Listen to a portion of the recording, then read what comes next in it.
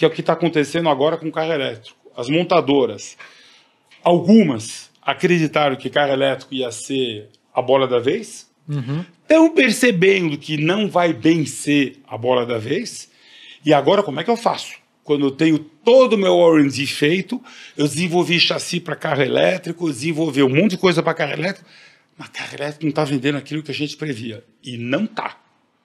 E vai piorar. É, porque eu lembro que teve uma época que tava até uma competição de. Era BYD, GM e até a Volvo entrou no meio, que parecia que quando você vai olhar pela grife, como a gente falou de Ferrari, o mais atrativo ali era um Volvo que também tipo, você não acha mais para comprar também. Não É, o, o que aconteceu é que as montadoras se jogaram no carro elétrico, atrasadas em relação à China.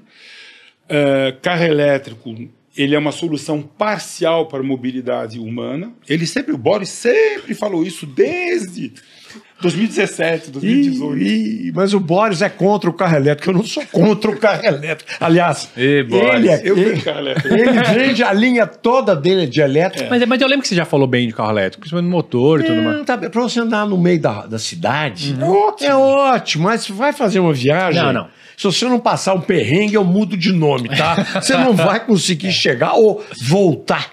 É. Sabe? Porque até ele. Me desculpe, hein, seu Sérgio Não, Abib, mas é mas o senhor anunciou, eu só vou vender carro elétrico daqui pra frente. Sabe o que, que nós já percebemos? Ele vai vender picape diesel, não é, seu Sérgio Abib? Eu vou, porque o governo colocou a alíquota de importação em cima de carro elétrico.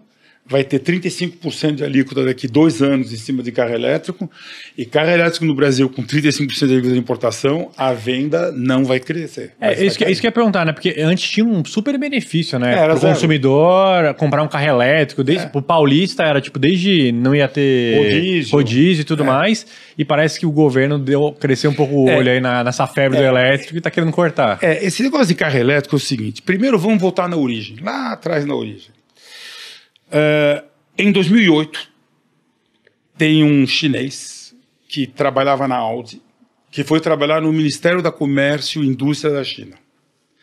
Esse chinês, que tem um nome chinês que eu não lembro, que hoje é um homem importante dentro do MIDIC deles lá, ele foi falar depois de. Ele não era do partido, que é raro, hein? Tem 50 milhões de pessoas no Partido Comunista Chinês ele foi, eh, ele pediu uma audiência com o ministro e ele falou, ministro, nós nunca vamos recuperar o atraso que a gente tem em carro térmico, que é motor a gasolina e câmbio.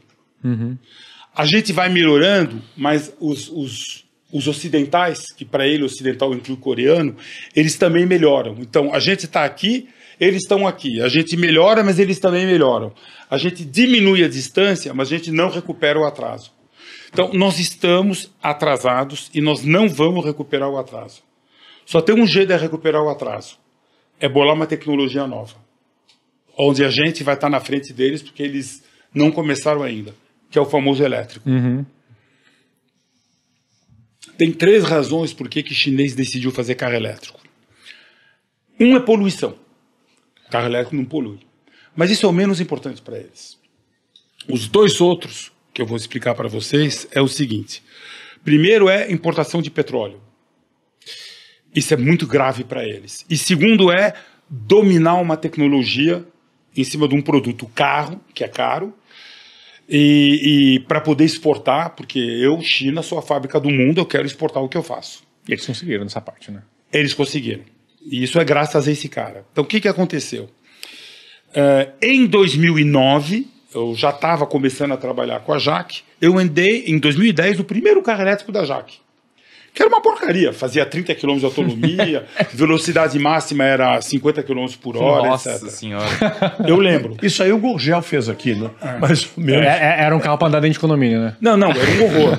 Mas o governo chinês, ele deu financiamento para pagar em 50 anos com taxa de juro baixíssima para todas as montadoras chinesas que desenvolvessem carro elétrico. Então eles começaram a desenvolver carro elétrico. Então, o carro elétrico lá foi desenvolvido antes dos países europeus Sim. e Estados Unidos.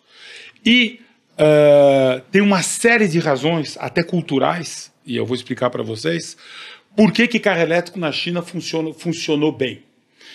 Ah, então, o carro elétrico na China ele foi desenvolvido para recuperar, para dominar uma tecnologia que nos carros térmicos eles não iam dominar. Não iam. Você não recupera 30 anos de atraso em 5 anos. Não dá. Porque os outros também estão melhorando. A, a- uma, uma maneira fácil de você medir progresso tecnológico é potência por litro. Uma Ferrari dos anos 80 tinha 60, 70 cavalos por litro. Tinha 300 cavalos com motor de 4 litros. Hoje, motor de 4 litros, você tira 800 cavalos. Você entendeu? Você tira 200 cavalos por litro.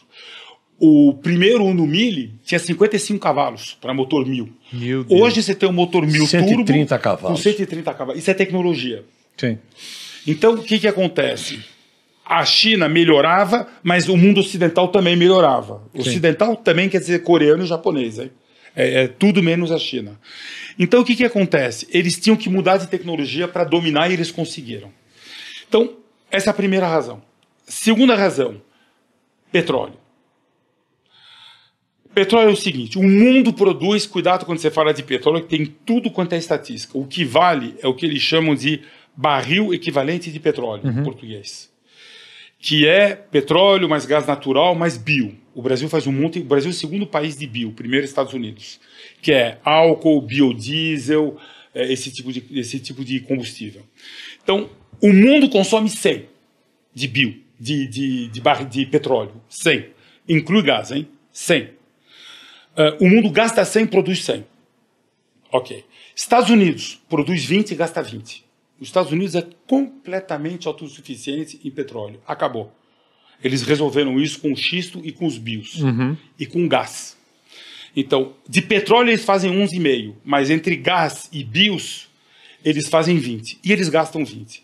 Então, eles importam 10, exportam 10 por uma questão de blend. Depende de que tipo de combustível eu preciso e o que, que eu consigo fazer no meu Sim, país. sim. E basicamente o que eles importam vem do Canadá e do México. O Oriente Médio lá não é mais problema para eles. Era antigamente, hoje Sim. não é mais. Então eles fazem 20, produzem 20.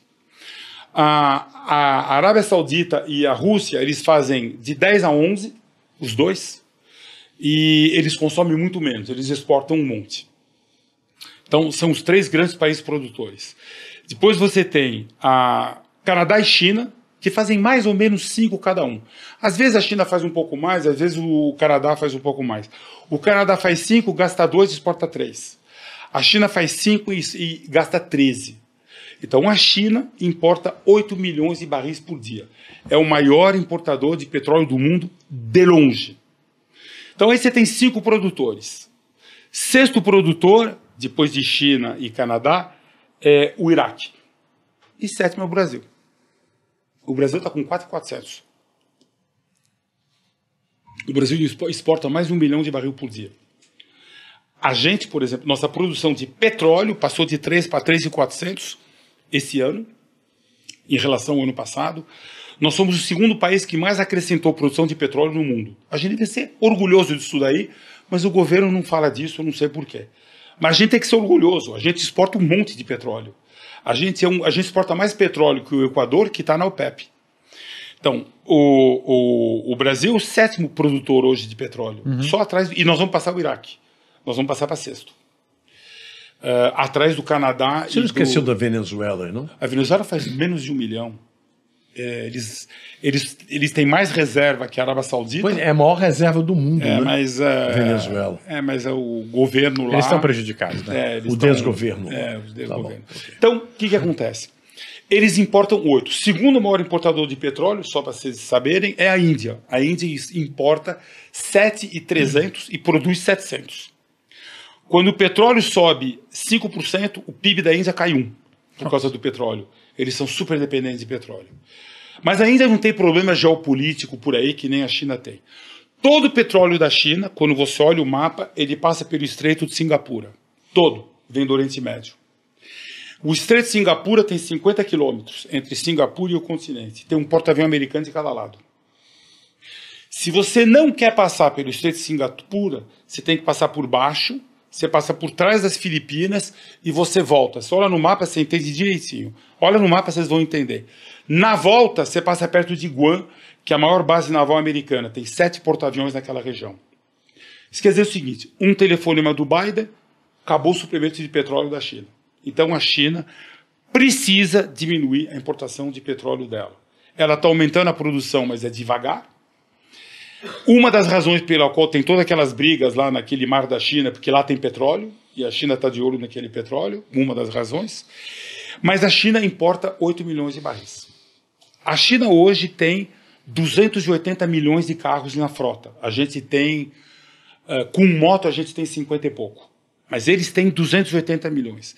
Esses, o chinês, é outra estatística interessante, o chinês roda 11 mil quilômetros por ano com o carro dele. O brasileiro Caramba. anda 13 mil, o europeu anda 15 mil e o americano 22 mil. Ou seja, o chinês roda pouco. Porque na China tem trem para tudo quanto é lugar. E o chinês, ele viaja de trem quando ele viaja, ele não viaja de carro. Eles têm estradas maravilhosas, mas basicamente o chinês viaja de trem. Então, o, o, se toda a frota chinesa fosse de carro elétrico, eles economizariam 5 milhões de barris por dia. Opa, eu ia importar 3,5 em vez de 8. 3 em vez de 8. Então, para o chinês parar de importar petróleo, é assim, é vital para a segurança nacional deles. Eles têm que parar de importar petróleo.